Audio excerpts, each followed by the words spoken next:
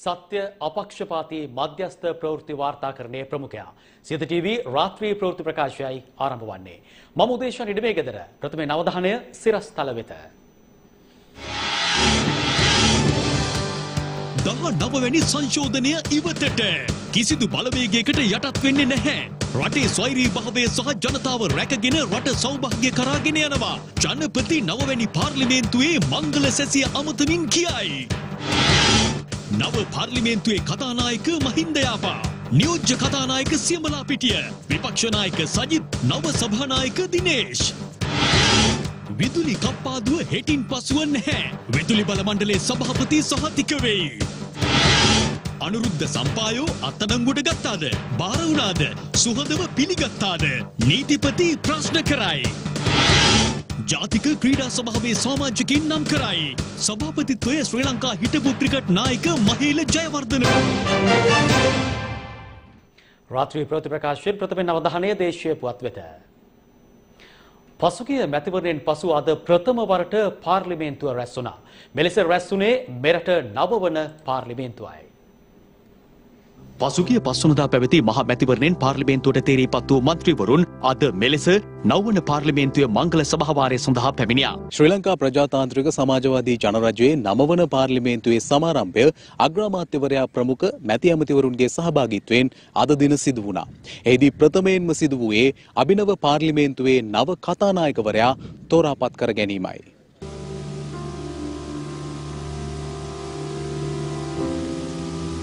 පාර්ලිමේන්තු උදෑසන නවයි තිහට පමණ ආරම්භුණේ සියලු පාර්ලිමේන්තු මන්ත්‍රීවරුන් කැඳවීම සඳහා ප්‍රධාන වේත්‍රධාරී විසින් සෙංකෝලය තැන්පත් කිරීමෙන් අනතුරුවයි.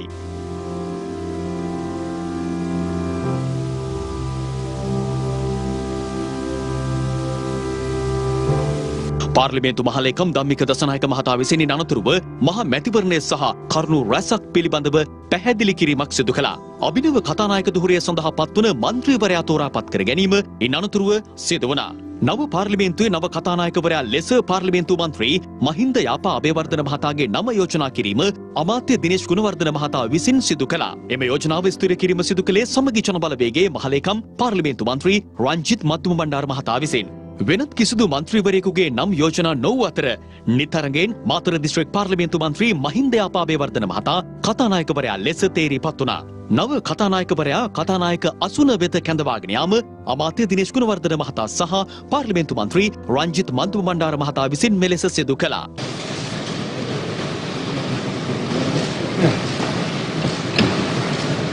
ඉන් අනතුරුව කතානායකවරයා සිය ප්‍රතිචාව සභාවට ඉදිරිපත් කළා.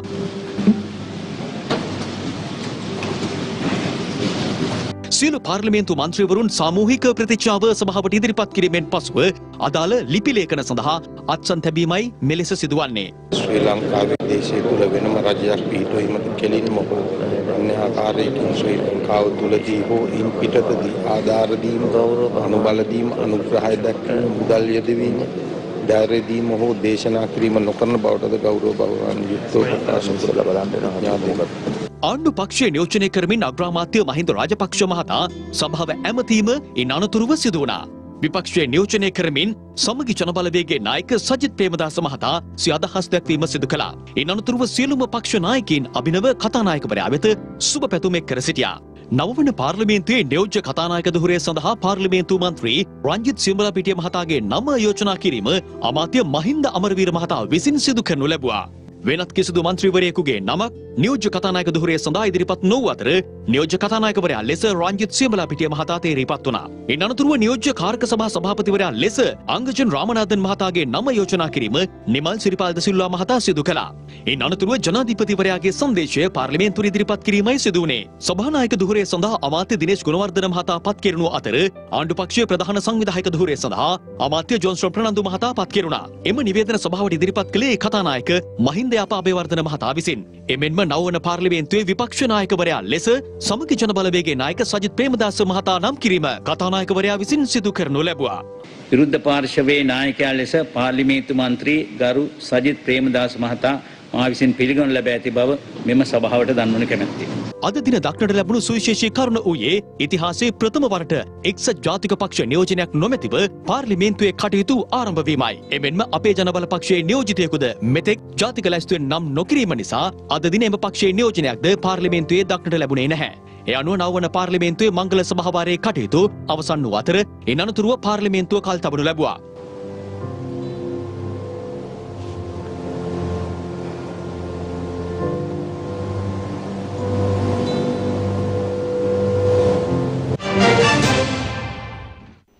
මේ අතර නවවන පාර්ලිමේන්තුවේ මංගල සැසිවාරය උත්සවාකාරයෙන් අද පස්වරුවේ ආරම්භ වුණා. ඒ ජනාධිපති ගෝඨාභය රාජපක්ෂ මහතාගේ ප්‍රධානත්වයෙන්. නවවන පාර්ලිමේන්තුවේ නිල සමාරම්භක උත්සවය අද පස්වරුවේ ශ්‍රී ජයවර්ධනපුර කෝට්ටේ පාර්ලිමේන්තු සංකීර්ණය අසලදී ආරම්භ වුණා. විශේෂයෙන්ම සම්ප්‍රදායන්ට මුල් තැනක් ලබා දෙමින් ඉතා චාම් ආකාරයෙන් මෙම උත්සවය සංවිධානය කර තිබීම විශේෂත්වයක්. ප්‍රථමයෙන් නවවන පාර්ලිමේන්තුවේ කතානායක මහින්ද යාප අබේවර්ධන මහතා නවවන පාර්ලිමේන්තුවේ මංගල සැසිවාරය සඳහා සම්ප්‍රාප්ත වුණා.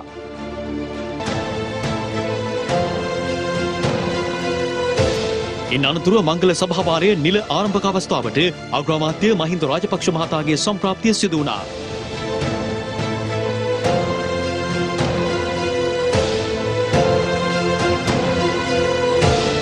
ශ්‍රී ලංකා ප්‍රජාතාන්ත්‍රික සමාජවාදී ජනරජයේ ජනාධිපති ගෝඨාභය රාජපක්ෂ මහතා සහායම මැතිනිය පාර්ලිමේන්තු පරිශ්‍රයට සම්ප්‍රාප්ත වීමයි ඉන් අනතුරුව සිදු වුණේ.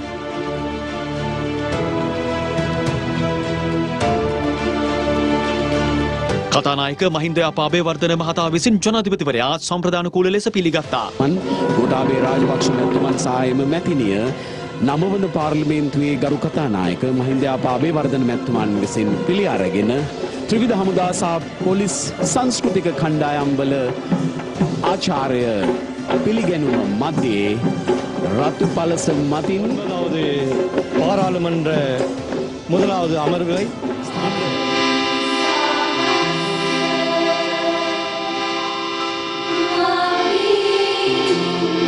ගුණාර්ධන මැතිතුමන් වගේම ආණ්ඩු පක්ෂයේ ප්‍රධාන සංවිධායක ජෝන්ස්ටන් ප්‍රනාන්දු මැතිතුමන් අතිගරු ජනාධිපතිතුමන් පිළිගත් අවස්ථාව ඉන් අනතුරුව ජනාධිපති ගෝඨාභය රාජපක්ෂ මහතා පාර්ලිමේන්තු සභාගර්භයට පිවිසි අතර කතානායක අසුනේ අසුන් ගනිමින් රජයේ ප්‍රතිපත්ති ප්‍රකාශය ඉදිරිපත් කිරීම සිදු කරනු ලැබුවා. අතිගරු ජනාධිපතිතුමා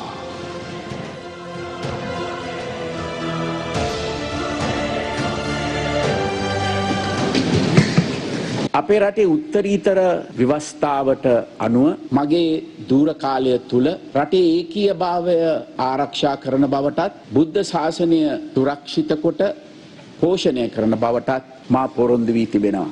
බුද්ධාගමට ප්‍රමුඛත්වය තහවුරු කරන අතරම මේ රටේ ඕනෑම පුරවැසියෙකුට තමන් කැමති ආගමක් ඇදහීමේ නිදහස වඩාත් හොඳින් සුරක්ෂිත වී ඇති බව ජනතාවට මේ වින විට පැහැදිලි. අපේ රජයේ මූලික ප්‍රතිපත්තිය වන රටේ ආරක්ෂාව යළි සුරක්ෂිත කරන්නට අපි කටයුතු කොට තිබෙනවා. පාතාල ක්‍රියාකාරකම් මද්‍රව්‍ය උවදුර වැනි සමාජ විවසනයන්ගෙන් ජනතාව ගලවා ගැනීම සඳහා විධිමත් වැඩපිළිවෙලක් තිබීමත් ජනතා විශ්වාසය ඉහළයාමට හේතු වී තිබෙනවා. දේශීය ගොවියා ආරක්ෂා කිරීමට අපි කටයුතු කළා. ඒශීය විවසායකයා අරමුණු කරගනිමින් බදු සහන ලබාදීමට කටයුතු කළා. ව්‍යාපාර දිරිමත් කිරීම සඳහා පොලි අනුපාතය අඩු කළා. වසර ගණනාවක් පුරා තමන් ජීවත් වූ ඉඩම්වලට නිසි අයිතියක් නැති ජනතාවක් සිටිනවා. ඔවුන්ට අපි නිසි ක්‍රමවේදයකට ඔප්පු ලබා දෙනවා. ඉදිරි වසර කිහිපය තුළ රටේ සෑම ප්‍රදේශයකටම පානීය ජලය ලබාදීම සඳහා අපි විශේෂ වැඩපිළිවෙලක් ආරම්භ කරනවා. නිදහස් සෞඛ්‍ය සේවාවන් ජනතාවට ලබාදීමේදී පවතින මේ විෂමතා අපි ඉවත් කරනවා. වාරිමාර්ග සංවර්ධනයට පුළුල් වැඩපිළිවෙලක් අපි දියත් කරනවා. රැකියා ලක්ෂයක් ලබාදීමට වැඩසටානක් ආරම්භ කර තිබෙනවා. උපාධිධාරීන් හැට දහසකට රැකියා ලබාදීමටත් කටයුතු යොදා තිබෙනවා. පොල් අලුතින් වගා කිරීම දිරි දෙනවා. රබර් ආශ්‍රිත කර්මාන්තකරුවන් උනන්දු කරවනවා. කටුපොල් වගාව අපි සම්පූර්ණයෙන්ම නතර කරනවා. ගම්මිරිස් කුරුඳු වැනි අපනායන බෝග නිෂ්පාදනය අපි දිරිගන්වනවා. උසස් පෙළ සමත්වන සියලු සිසුන්ට විශ්වවිද්‍යාල අධ්‍යාපනයක් ලබා ගැනීම සඳහා විශ්වවිද්‍යාලවල ධාරිතාව වැඩි කරනවා. මුහුදින් වට වූ අපේ රටට මාළු ආනයනය අපි නතර කළ යුතුයි. නීත්‍යානුකූල නොවන විදේශ බහුදින දීවර යාත්‍රා විසින් ලංකා මුහුදු තීරයේ කරන සූරයකාම නතර කරනවා. ඉදිරියේදී නාස්තියට දූෂණයට සම්බන්ධ වන පුද්ගලයින්ට තරාතිරම නොබලා නීතිය ක්‍රියාත්ම කිරීමට මම පසුබට වන්නේ නැහැ. අපගේ පළමු කාර්යක් ලෙස දහනමනි ව්‍යස්ථා සංශෝධනය ඉවත් කිරීමට කටයුතු කරනවා. එක රටක් එක නීතියක් යන සංකල්පයට මූලිකත්වය දෙනවා. වර්තමාන මැතිවරණ ක්‍රමේ වෙනස්කම් සිදු කිරීමට අවශ්‍ය වෙනවා.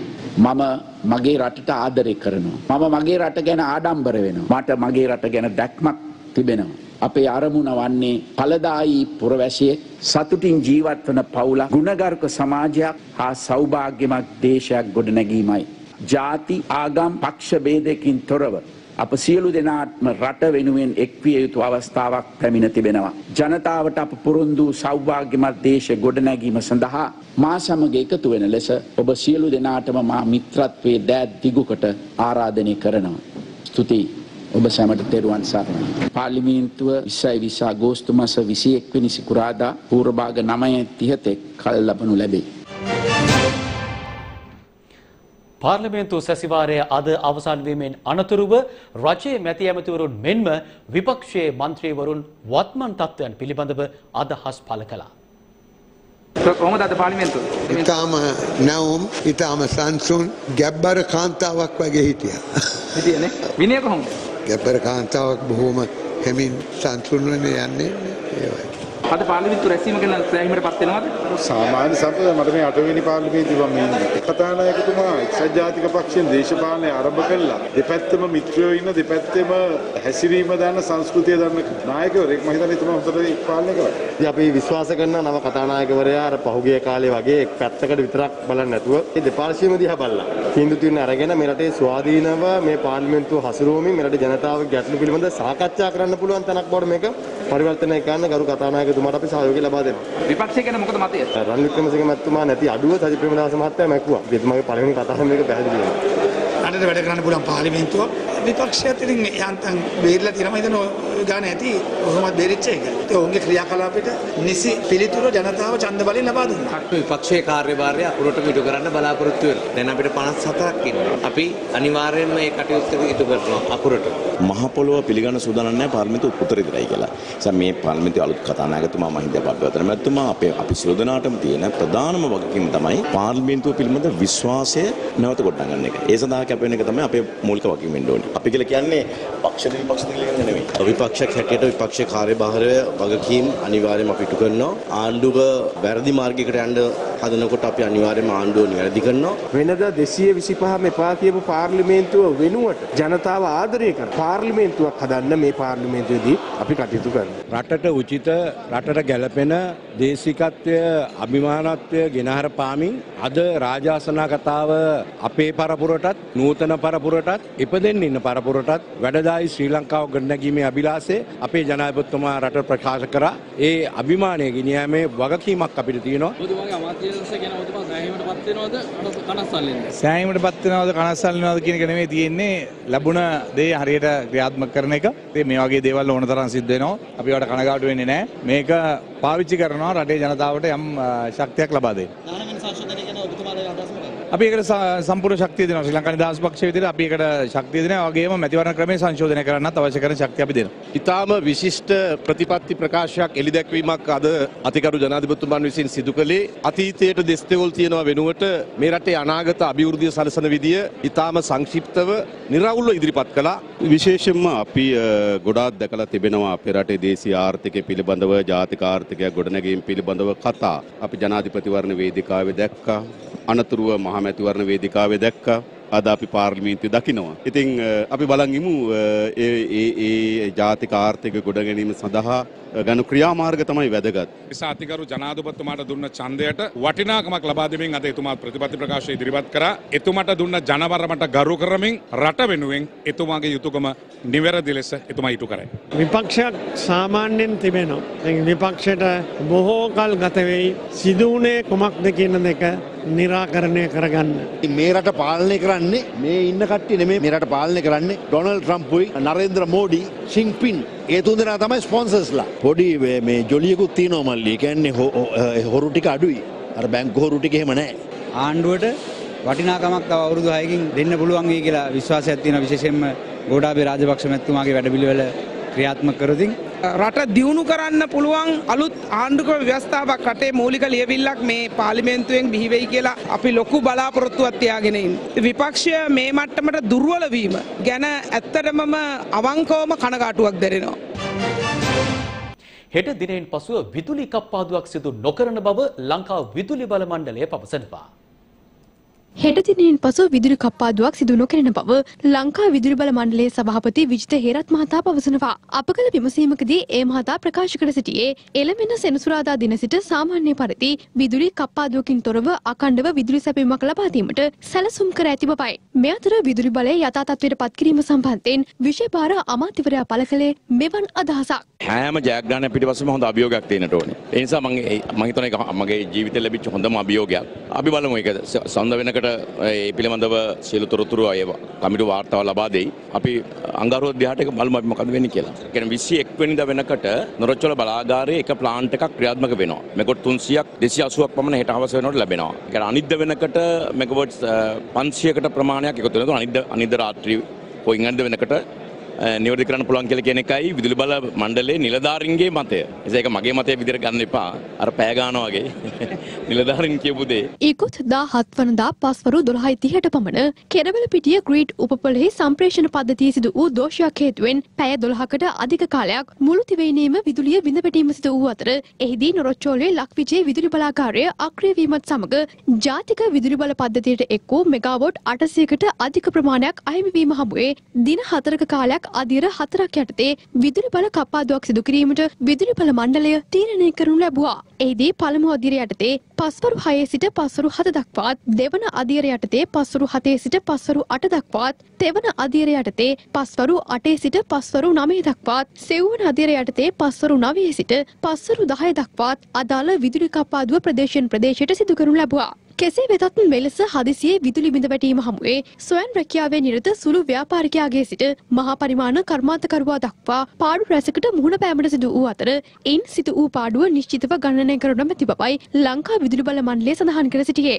මේ අතර විදුලි බල අර්බුදය සම්බන්ධයෙන් දේශපාලන නියෝජිතින්ද මෙලෙස අදහස් පළ කළා. මේ දවස්වල දවසේ වැඩි කාලයක් ඉන්නේ අඳුරේ. විදුලිය කප්පාදු වෙලා. ඒකවත් හරියට කළමනාකරණය කරන්න බෑ. පුදපු ගමන් කාපි යකා කිව්වා වගේ ආණ්ඩුව මහා ලොකුවට සෞභාග්‍ය දැක්ම ස්ථාවර කරන්න ඇවිල්ලා දැන් අන්ධකාරයේ ගැලී ගැලී ඉන්න සිද්ධ වෙලා තියෙනවා මේ රටේ ජනතාවට. දැන් හොඳම ඇමතිකම තමයි කුප්පිලාම්පුව ඇමතිකමක් ලබා දෙන්න උප්පිලාම්පු සැපීමට සහ උප්පිලාම්පු වෙළඳාම් කිරීමට උප්පිලාම්පු කටයුතු පිළිබඳ හොඳ රාජ්‍ය අමාත්‍ය පදවියක් දුන්නොත් මම හිතනවා ආණ්ඩුවට බොහොම විදියට ප්‍රශංසා ලැබේ රටේ ජනතාවගේ. ජනතාව ආණ්ඩුවට තුනෙන් දෙක දුන්නට අපිට දැන් කතා කරන්න වෙලා තියෙන්නේ කුප්පි ලාම්පුව පත්තු කරගෙන. විදුලි බල මණ්ඩලයේ ඉන්න ඇතම් ඉහළ නිලධාරීන්ගේ වමනාවටත් මේ රටේ මෙතෙක් හිටපු දේශපාලනඥයන්ගේ විදුලි බල ඇමතිවරුන්ගේ වමනාවටත් මේ කොහේ හරි ජෙනරේටර් වලින් කොමිස් පිට විදුලි බලය ගන්න ඕන නිසා තමයි මම හිතන්නේ මේ විදුලි අර්බුදයක් නිර්මාණය කරන්නේ. හිතා මතාම අපේ රටේ විදුලි අර්බුදයක් නිර්මාණය කරනවා කියන එක අපට පේන්න තියෙනවා. මේක විසඳන්න බැරි වුණා නම් මේ රටේ හිටපු ඇමතිවරුන්ට ජනාධිපතිවරුන්ට පාලකයන්ට ලැජ්ජ වෙන්න ඕන සියලු දෙනාම. ඇමතිවරුන්ගේ අපලවේකට හේතු වෙනවද මන් දන්නේ. එහෙම නැත්නම් රටේ ජනතාවගේ අපලයකට මේ ඡන්දෙ තුනෙන් දෙක ආණ්ඩුවට දුන්නත් දන්නේ කොහොම නමුත් කුප්පිලාම්පු එළියෙන් මාධ්‍ය සාකච්ඡා තියන්න වෙච්ච තැනකට මේ රටදපත් වෙලා තියෙනවා. කොරෝනා වසංගත තත්ත්වය හමුවේ ජනතාවට සිදුවී ඇති ආර්ථික දුෂ්කරතා අවම කර ගැනීමේ අරමුණෙන් පොලි අනුපාත කිහිපයක් පහත දැමීමට ශ්‍රී ලංකා මහ බැංකුව තීරණය කර තිබෙනවා. ඒ අනුව ක්‍රෙඩිට් කාඩ් සඳහා උපරිම ණය පොලිය 118ක් දක්වා පහත හෙලීමට පියවරගෙන ඇති අතර මීට අමතරව රන් අය අධිකාරම් පොලි අනුපාතය 110 දක්වාත් පෙර සැලසුම් කර බැංකු අයිරා ණය පොලි 118කින්ද පහත දැමීමටයි ශ්‍රී ලංකා මහ බැංකුවේ මුදල් මණ්ඩලය තීරණය කර ඇත්තේ. එමෙන්ම නිත්‍ය තැන්පතු පහසුකම් අනුපාතය 104.5ක් ලෙසත් නිත්‍ය ණය පහසුකම් අනුපාතය 105.5ක් ලෙසත් පවත්වාගෙන යාමට නියමිතයි. ව්‍යවස්ථාපිත සංචිත අනුපාතය සියට දෙකක් ලෙස පවත්වාගෙන යාමටද පියවරගෙන ඇති බව ශ්‍රී ලංකා මහ බැංකුව නිකුත් කළ නිවේදනයේ දැක්වෙනවා. ඊයේ රැස් වූ මහ බැංකුව මුදල් මණ්ඩලය මෙම තීරණගෙන ඇති අතර වර්තමාන ප්‍රතිපත්ති පොලි අනුපාත නොවෙනස්ව පවත්වාගෙන යාමටද තීරණය කර තිබෙනවා. මිගමු වන්දනාගාරයේ හිටපු අධිකාරී අනුරුද්ධ සම්පායෝට එරෙහිව නිකුත් කර තිබූ වරෙන්තුව ක්‍රියාත්මක කිරීමේදී මිගමු පොලිස් මුලස්ථාන මිගමු මුලස්ථාන ප්‍රධාන පොලිස් පරීක්ෂකවරයාගේ ක්‍රියාකලාපය සහ ඊට අදාළ පොලිස් මාධ්‍ය ප්‍රකාශකවරයාගේ ප්‍රකාශ සම්බන්ධයෙන් පරීක්ෂණයක් පවත්වන ලෙසට නීතිපතිවරයා විසින් පොලිස්පතිවරයාට උපදෙස් ලබා දී තිබෙනවා. මීගමුව මූලස්ථාන පොලිස් පරීක්ෂකවරයා අනුරුද්ධ සම්පාය නැමැත්තාගේ ශරීරයට අතපාමින් ඔහුව සුහදව පිළිගන්න ආකාරයත් හොඳින් නිරීක්ෂණය කිරීමට හැකියාවක් ලැබුණා. ඒ අනුව ඒ අත්අඩංගුවට ගැනීමක් නොව වරෙන්තුකරුවෙකු පූර්ණ සැලසුමක් සහිතව සාදරයෙන් පිළිගැනීමක් බව සාමාන්‍ය දැනුමක් ඇති ඕනෑම පුද්ගලයෙකුට පැහැදිලි වන කරුණක් බවට ගරු නීතිපතිවරයා විසින් වැඩබලන පොලිස්පතිවරයාට දැනුම් දීමක් සිදු කළා. මූලස්ථාන පොලිස් පරීක්ෂකවරයා අනුරුද්ධ සම්පායන සැකකරුව පොලිස් පොලිස් ජීප් රථයේ පිටුපස අසුනේ රඳවා ගනිමින් යම් පුද්ගලයෙකු එතනට පැමිණෙන තෙක් පේක්ෂාවෙන් බලා සිටි තත්වයක් නිරීක්ෂණය කළා. එම අවස්ථාවේදී ඔවුන් සතුටු සාමිචියේ යෙදෙන බවත් නිදහසේ හැසිරීමටත් කතා කිරීමටත් ඉඩ ප්‍රස්තාව ලබා දී තිබෙන තත්වයක් නිරීක්ෂණය කළා. ඔවුන් එසේ යම් කාලයක් එම ස්ථානයේම රැඳී සිට ඇත්තේ එක් මාධ්‍ය ආයතනයක මාධ්‍යකරුවෙකුගේ පැමිණීම අපේක්ෂාවෙන් බවට CCTV දර්ශන නැරඹීමේදී මනාව පැහැදිලි වන බව ගරු නීතිපතිවරයා විසින් වැඩබලන පොලිස්පතිවරයාට දැනුම් දීමක් සිදු කළා. එම මාධ්‍ය ආයතනයකින් පුද්ගලයෙකු පැමිණෙන තෙක් කල්ගත කළ මොවුන් එම මාධ්‍යවේදියාගේ ජංගම දුරකථනයෙන් අනුරුද්ධ සම්පායන සැකකරුහට මාධ්‍යයට කරුණු ප්‍රකාශ කිරීමට අවස්ථාව මීගමුව මුලස්ථාන පොලිස් පරීක්ෂකවරයා විසින්ම ලබා දී ඇති බව වැඩිදුරටත් පැහැදිලි වුණ අනුරුද්ධ සම්පායන සැකකරු වරෙන්තු නිකුත් වී දින 11කට පසු පොලිසිය විසින් අත්අඩංගුවට ගත් බවට මහජනතාවට ඒත්තු ගැන්වීම පිණිස මේ ආකාරයෙන් මීගමුව මුලස්ථාන පොලිස් පරීක්ෂකවරයා මන්ත්‍රීවරයා අනුරුද්ධ සම්පායන සැකකරු සමග එකට එක්ව කරන ලද සාමූහික රඟ දැක්වීම සම්බන්ධයෙන් කරුණු විමර්ශනය කර නොපමාව වාර්තා කරන ලෙස ගරු නීතිපතිවරයා උපදෙස් ලබා දුන්නා. එසේම එය මෙහෙයුමකින් සිදු කළ අත්අඩංගුවට ගැනීමක් නොවන බවට විමර්ශනවලදී සහ CCTV දර්ශන නැරඹීමේදී අනාවරණය වී තිබෙන නිසා මීගමුව මුලස්ථාන පොලිස් පරීක්ෂකවරයා විසින් අත්අඩංගුවට ගත් බවට අසත්‍ය සටහන් යෙදීම සම්බන්ධයෙන් මීගමුව මූලස්ථාන පොලිස් පරීක්ෂකවරයාට විරුද්ධව විමර්ශනයක් සිදු කර ඒ සම්බන්ධයෙන් නොපමාව කරුණු දක්වන ලෙසත් දැනුම් දුන්නා. පොලිස් මාධ්‍ය ප්‍රකාශක විසින් එම සිද්ධිය සම්බන්ධයෙන් නොයෙකුත් මාධ්‍ය වෙත අනුරුද්ධ සම්පායන සැකකරු අත්අඩංගුවට ගත්තේ උපක්‍රමශීලීව බුද්ධි මෙහෙයුමක ප්‍රතිඵලයක් වශයෙන් යයි අසත්‍ය කරුණු මහජනතාව වෙත දන්වා මහජනතාව නොමග යැවීම සම්බන්ධයෙන් වගකීම් රහිතව කටයුතු කර ඇති ආකාරය අනාවරණය වන බැවින් ඔහුගේ එම ප්‍රකාශ සම්බන්ධයෙන්ද විමර්ශනයක් සිදුකොට නොපමාව වාර්තා කරන මෙන් තවදුරටත් ගරු නීතිපතිවරයා විසින් වැඩබලන පොලිස්පතිවරයාට උපදෙස් ලබා දීමක් සිදු කළා.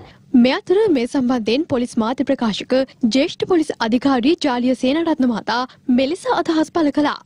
පොලිස් මාධ්‍ය ප්‍රකාශක ප්‍රකාශය ඉදිරිපත් කරන්නේ මාධ්‍ය ප්‍රකාශකට ලැබෙන වාර්තා අනුව දැනට අර නීතිපතිතුමා විසින් ඒ සම්බන්ධයෙන් වැඩ බලන පොලිස්පතිතුමාට විමර්ශනයක් කිරීම සඳහා ලිඛිතව දැනුම් දීලා තියෙනවා. ඒ අනුව මම හිතනවා මට එරෙහිව තියෙන විමර්ශනයක් සම්බන්ධයෙන් මම කරුණු ඉදිරිපත් කිරීම සදාචාරාත්මක නැහැ කියලා. ඒ නිසා මම ඒක සම්බන්ධයෙන් වැඩිදුර කරුණු ඉදිරිපත් කරන්න බලාපොරොත්තු වෙන්නේ නැහැ. ගරු නීතිපතිතුමා මීගම මූලස්ථාන පොලිස් පරීක්ෂකයට එරෙහිව විමර්ශනයක් පැවැත්වීම සඳහා උපදෙස් ලබා දීලා තියෙනවා. මේ වෙන විටත් එවැනි විමර්ශනයක් ආරම්භ කරලා තියෙන්නේ වැඩබලන පොලිස්පතිතුමා විසින් අගෝස්තු මාසයේ 3 වෙනිදා පොලිස් විශේෂ විමර්ශන ඒකකයට නියෝගයක් නිකුත් කරලා තිබුණා. විමර්ශනයක් ආරම්භ කරන්න කියලා මිගම මූලස්ථාන පොලිස් පරීක්ෂකවරයාට එරෙහිව ඔහු සැකකරුව කරන අනුරුද්ධ සම්පාව යන අය අත්අඩංගුවට ගැනීම සඳහා කටයුතු කරන අවස්ථාවේදී හැසිරුණ ආකාරය සම්බන්ධයෙන් ඒ සම්බන්ධයෙන් දැනට පොලිස් විශේෂ විමර්ශන ඒකකයේ මගින් විමර්ශන ආරම්භ කරලා දිනවා අදාළ උද්ෘත එම ඒකකයට ගෙන්නගෙන තියෙනවා. ඊට අදාළ මාධ්‍ය මගින් ප්‍රචාර වුණු වාර්තා ගෙන්වා ගැනීමට බලාපොරොත්තු වෙනවා. අභ්‍යන්තර විමර්ශනයක් කරනවා ඊට අමතරව කරු නීතිපතිතුමාගේ උපදේශ පරිදි පොලිස්පතිතුමා විසින් එතුමාගේ උපදේශ අනුව ක්‍රියා කිරීම සඳහා නියෝග ලබා දීමට බලාපොරොත්තු වෙනවා එම උපදේශ අද ලැබුණේ මේ වෙන විට ඒ සම්බන්ධයෙන් පොලිස්පතිතුමා නිශ්චය කළා නැහැ එතුමා ඒ සම්බන්ධයෙන් සුදුසු නියෝග ලබා දෙනු ඇත. ඒ කියන්නේ ඔබතුමා කියලා තින්නේ පක්ෂමශීලී බුද්ධි මෙහෙයුමකින් තමයි මේක ඔහු අතමුණ ගත්තේ. ඇත්තට මේ වගේ දෙයක්ද සිදුුනේ? ඒ සම්බන්ධයෙන් මා විසින් ඉදිරිපත් කරන ලද වාර්තා සහ දැනට සිදු කරන ලද විමර්ශනයක් තිබෙන නිසා මම ඒ සම්බන්ධයෙන් කරුණු අ, ඉදිරිපත් කිරීම මම හිතනවා සදාචාරාත්මක නැහැ කියලා. විමර්ශනයේ වාර්තා ඔබ වෙත අ, අනිවාර්යයෙන්ම ලැබීමට සලස්. නීතිපතිතුමා අද දින එවලා තියෙනවා ලිපියක් පොලිස්පතිතුමාට. ඒ ලිපිය අනුව දැනුම් දීලා තියෙනවා මීගම මූලස්ථාන පොලිස් පරීක්ෂකවරයාට එරෙහිව සහ පොලිස් මාධ්‍ය ප්‍රකාශකට එරෙහිව විමර්ශනයක් ආරම්භ කරන්න කියලා තියෙනවා. ඒ අනුව පොලිස්පති අ, විසින් ඒ කටයුතු සිදු කරනවා. ක්‍රීඩා පුවතක් වෙතයි දැන් අවධානය. ජාතික ක්‍රීඩා සභාවේ සභාපතිවරයා ලෙස නම් කළ ශ්‍රී ලංකා ක්‍රිකට් කණ්ඩායමේ හිටපු නායක මහේල ජයවර්ධන මහතා සහ කමිටු සාමාජිකයින් 14 දෙනා අද සිය පත්වීම් ලිපි බහර ගත්තා. ඒ ක්‍රීඩා අමාත්‍ය නාමල් රාජපක්ෂ මහතා අතින්. ජාතික ක්‍රීඩා සභාවේ සමාජිකයින්ට පත්වීම් ලිපි ප්‍රදානය කිරීම අද දින සිදු වුණා. ජාතික ක්‍රීඩා සභාවේ සභාපතිවරයා ලෙස පත් කර ඇත්තේ ශ්‍රී ලංකා ක්‍රිකට් කණ්ඩායමේ හිටපු නායක මහේල ජයවර්ධනයි. ජාතික ක්‍රීඩා සභාවේ කමිටුව සමාජිකින් ලෙස ශ්‍රී ලංකා හිටපු ක්‍රිකට් නායක කුමාර් සංගක්කාර මහතා මෙන්ම යුද හමුදාපති ලුතුනන් ජෙනරාල් ශවින්ද්‍ර සිල්වා මහතා මොටරත දහවන ශූර ඩිලන්ත මාලකුම් මහතා ඇතුළු ක්‍රීඩා සහ ව්‍යාපාරික ක්ෂේත්‍රයේ නියෝජනය කරන නියෝජිතයින් ඇතුළත් ජාතික ක්‍රීඩා සභාවේ සමාජිකයින්ට පත්වීම් ලිපි ප්‍රදානය කිරීම අද දින සිදු වුණේ ක්‍රීඩා අමාත්‍ය නාමල් රාජපක්ෂ මහතා අතින්. ජාතික ක්‍රීඩා සභාවේ සභාව පිහිටුවීමේ පළවෙනි හමුව ශ්‍රී ලංකාවේ සූදුම ක්‍රීඩා ගැන ජාතික සහ ජාත්‍යන්තර දැක්මකින් ඒ වර්ණගා සිටුවන ක්‍රීඩකයන්ගේ සහ ක්‍රීඩාබල ජාතික බලාපොරොත්තුවක් තියෙනවා. ඒ සියලු දේම අලුත් විදිහකට ස්ථාපිත කරන්න ඒ වගේම ක්‍රීඩා පනත ක්‍රීඩා නීතිය ජාතික ක්‍රීඩා ව්‍යූහයක් සම්පාදනය කරන්න ඒ දැක්මත් එක්ක තමයි මම හිතන්නේ මේ හමුව කැඳවලා තියෙන්නේ. ඉතින් ගතා කාලේදී ඒ සියලු දේ ගැනම බලන්න බලාපොරොත්තු ඔබ ක්‍රීඩා වෙනුවෙන් දැඩි හඬක් නැගුවා. ඔබටත් ගල් මුල්ලා. දැන් එතනින් එහාට බේරෙන්න පුළුවන් වෙයි. නෑ මම හිතන්නේ මේ බේරෙන්න ඒකට නෙවෙයි මම හිතන්නේ මේ ක්‍රීඩා සභාව දාලා තියෙන්නේ. ඒක බේර ගන්න ඕන හඬන්න ගන්න ඕනේ නෑ නේද? එම පුවතත් සමගින් අපගේ රාත්‍රී ප්‍රවෘත්ති ප්‍රකාශය මින් නිමාවට පත්වනවා. අප අලුත් හමුවන්නේ හෙට උදෑසන 6ට අපගේ උදෑසන ප්‍රවෘත්ති විකාශයෙන්. ඔබට සුබම සුබ රාත්‍රියක්.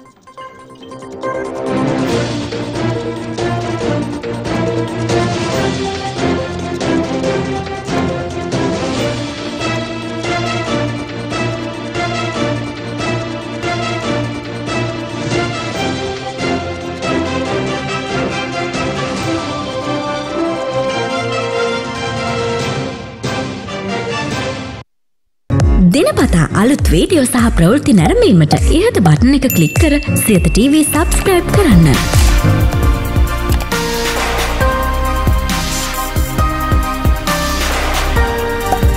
අලුත් වීඩියෝ ගැන මුලින්ම දැනගන්න මෙම සීනුව ක්ලික් කරන්න.